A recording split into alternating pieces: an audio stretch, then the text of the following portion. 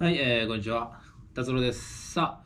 えー今日なんですけれども、今日もですね、YouTube で、えー寄せられたコメントへの、えー返信をね、していこうかなと思います。こういうコメントいただくの嬉しくってね、えちょっといろいろ返信して、えお力添えしようかなと思います。コメントいただいたのは、え YouTube でくるみさん、ありがとうございます。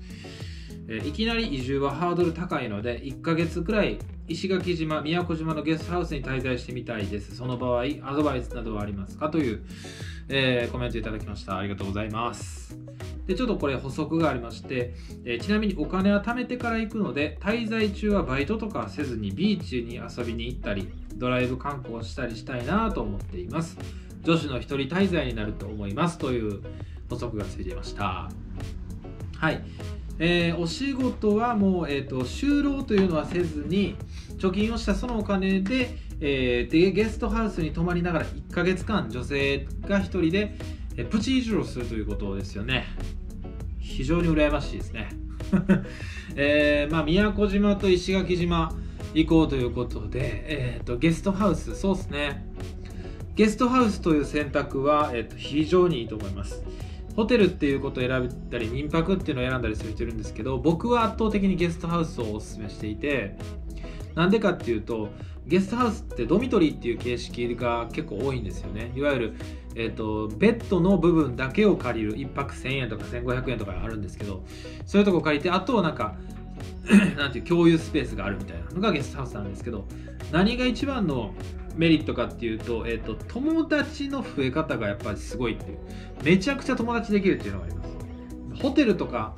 なんだろう、えっと民宿とかだとどうしてもプライベート空間になるのでまあそれはそれでいいんですけど友達とか知り合いとかなかなかできにくいっていうのが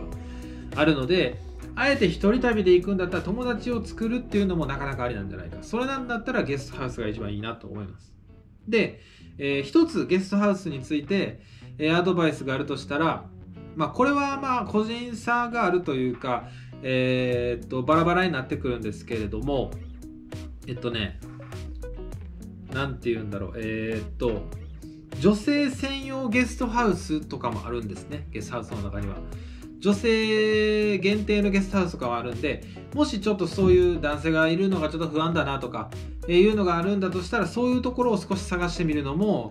まあ安心安全面で言えば、えー一つかなとは、えー思います。はい、で、えーもう一つ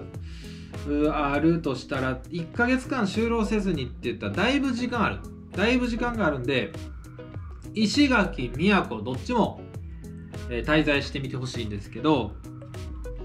何日間かでいいんで沖縄本島も1回滞在してみた方がいいかなと思います。なんだかんだ移住するのはやっぱり本島が一番多いんですよ。なので本島に住むとどんな感じになるんだろうなっていうのをせっかくならちょっと知ってもらっても、えーいいんじゃないかなと思いますので、えっと、まず宮古石垣はもちろんこれ本島でこの3つのエリアで1ヶ月間を過ごしてみて沖縄っていうので一番住みやすいエリアはどこなんだろうっていうのを確かめるのが一番いいかなと思います。まあね海の綺麗さで言ったらやっぱり石垣宮古、えーダントツだしえー、と僕この YouTube チャンネルにたまにこうコラボとかで出ていただいているあのタカンポさんという方がですね石垣島で YouTube をされていて非常に面白いチャンネルですので、えっと、タカンポさんのチャンネルにねあのもし石垣行かれるんであれば、えーちょっと見に行ってみてください。あの概要欄にタカンポさんのチャンネル貼っておきますんで、えーぜひ見に行っていただければと思います。タカンポさん、えっとなんかコメントくるみさんからコメントしてきた際は、えーよろしくお願いします。はい、僕なんかよりよっぽど石垣のことに詳しいので、ぜひ行ってみてください。で、選択肢の中に本島も入れた上で1ヶ月間回ってみると面白いかなと、えー個人的には思います。うん。前、結構ね、沖縄移住したいですっていう人は多い中で、でもやっぱりちょっと、なんだろう、えっ、と、勇気が出ないというか、えっ、と、踏み出せないっていう人は多いんですよ。で、そういう人に僕結構ね、あの、プチ移住一回しましょうっていうのは結構言います。プチ移住っていうのは1ヶ月ぐらいね、えっ、と、くるみさんのようにゲストハウスとかを転々としたりして、いろんなところ回って自分が住むんだったらどうなるのかっていうのを一回体験してみるっていうのはね、えー僕自身も非常にお勧めしている手法ではあるのでこのプチ移住をしてから本格的に移住を考えるっていうのは超正当なやり方なので自信も自信を持っていただきたいというかあのもうこれで正解だと思う。んで、え1ヶ月間ね気の身気のまま、えー気の向くまま、えー沖縄のいろいろなエリアを楽しんでいただければと思います。宮古石垣に住みたいって思いながらプチ移住してみたら意外と本島の方が自分にはあったみたいなことも話には聞いてるというかそういう人もいるみたいなので、えー、と石垣宮古行ってから本島も行ってじっくり考えていただければと思います。ね。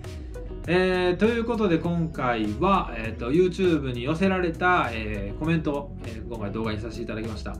前々回ぐらいかなの動画ぐらいから、えー、とコメントに寄せられてちょっとこう質問とかなんかこう動画にするぐらいちょっと内容が濃いものとか鋭いコメントとかはこうこういうに動画に、えーさせていただこうと思ってますので、えーぜひね、えーコメントをしていただければと思います。でくるみさんもねもし移住されたらぜひ僕、えー南の島暮らしサロンオンラインサロンの方に遊びに来てください。沖縄好きや沖縄移住者が、えーたくさん